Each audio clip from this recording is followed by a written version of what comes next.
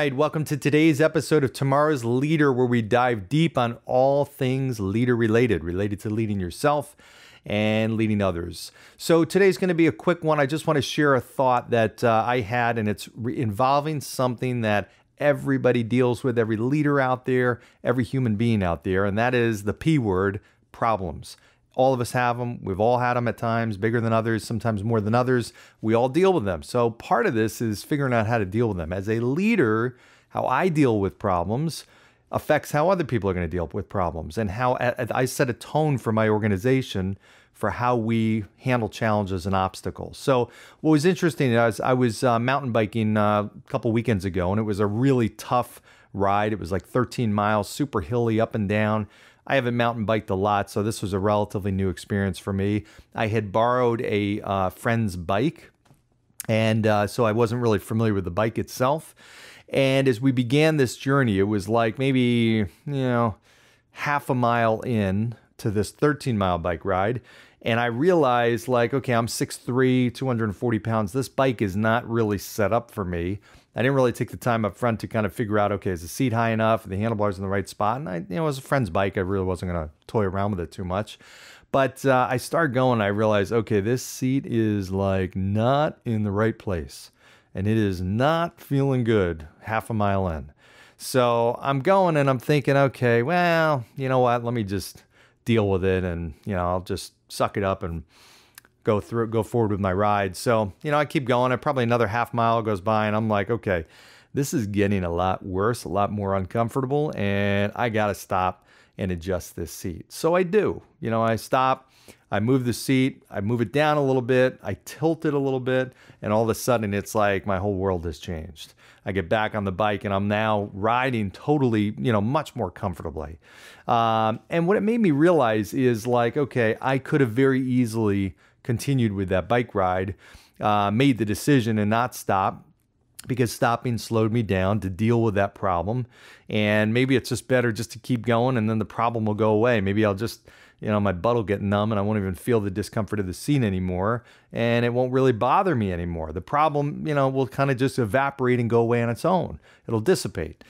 And in reality, leaders feel uh, think like that all the time. And I've gotten caught in that many, many, many times where you see a problem, you see maybe the start of a problem, and you don't deal with it. You figure, okay, well, let me kind of turn a blind eye to it or let it go, and just time will kind of heal it and it'll just, you know, get it go away as a problem. Very rarely does that happen. I'm not going to say never, but very rarely do problems that a leader can spot because if he can spot it you know it's it's it's sizable enough so it's hit your radar screen very rarely do these things have a way of just solving themselves um, now there are some things that maybe you make a conscious decision you're not going to address you're not going to get involved in maybe it's a drama situation or something like that that just doesn't really it's not worth your time your effort or your attention but at the same point, I see leaders most of the time, the problems that they ignore are problems that they shouldn't ignore. Whether it's a gut feeling about someone, maybe it's a conflict that's going on, maybe it's a, a systems problem in their organization or a service problem or a quality problem, whatever it is, and they just assume that, okay, time will kind of fix it. Doesn't happen. So going back to that bike ride, I know I would not have been able to make it 13 miles had I not addressed it. Now, yeah, granted, it might have taken me a minute or two on the side of the road, so I lost a little time up front. But at the same point, you know, one, I wasn't going to set any kind of record. I just wanted to have a good workout and a, and a great ride. And that wasn't going to happen had I not adjusted the seat. So problems have a way, and I've got a good friend, Michael Altshuler, who's out there. I'll give him a little props. He tells a story about it, when he does workshops, he'll have somebody hold a glass of water out just like this, and it's really not that big of a deal, right? It's not that heavy. I was talking to a group the other day about this, and uh, you know, but if you held it out there for like 45 minutes, this is gonna really feel heavy. Your arm's gonna be like shaking and stuff. So this represents your problems, your issue. Maybe it's your negative self-talk or whatever it is and ultimately, that's just going to get worse and worse. And if we don't deal with it, it's going to weigh us down and get heavier and heavier and drag us down. So, small little example on the bike seat, um, but it made me realize the importance of getting the message out there about making sure those problems that you see that you have, just jump in and deal with them. Uh, take some action, have a conversation, bring the parties together, whatever the case is. Uh, you know, the other in this ride, the other thing that was really bothering me, I would, again didn't have my own helmet. Now I got a big head, big noggin. It's a big brain, so you get a big head.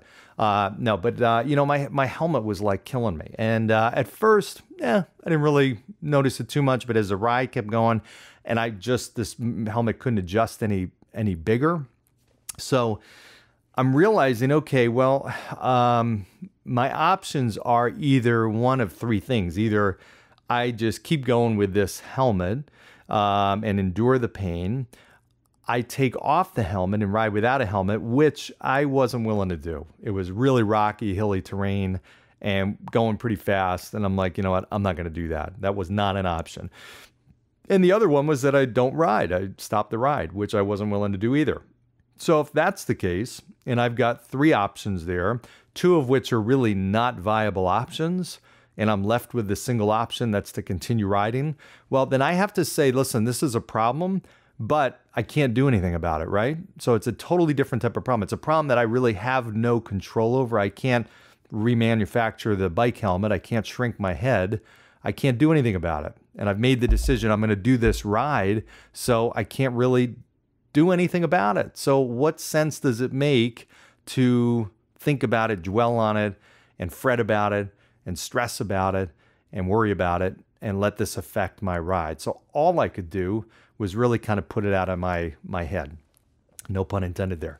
But really just put it out of my brain and stop thinking about it, right? Just keep riding, enjoy the ride, get the most out of it. Now, when I got done, I took the helmet off. Wow, that was like a, a major moment there. But I realized I couldn't do anything about that. So when you think about the issues and the problems you have, you've got to ask yourself is this something that I have control or influence over? Can I do something about it? Are the options the uh, uh, viable options or alternatives?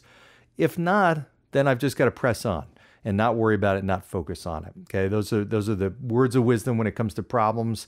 Um, and really quick, I know podcast here, but I had those thoughts. I want to get them out. I figured it could uh, help some some of you that might have some issues, some stuff going on right now. Take some action or decide, hey, you know what? Not something I have control over. I'm not going to worry about it. All right. So hopefully this uh, was helpful. Enjoy your day. Keep listening, liking, subscribing, sharing, comments, all that kind of good stuff. I greatly appreciate you. Thanks. Bye.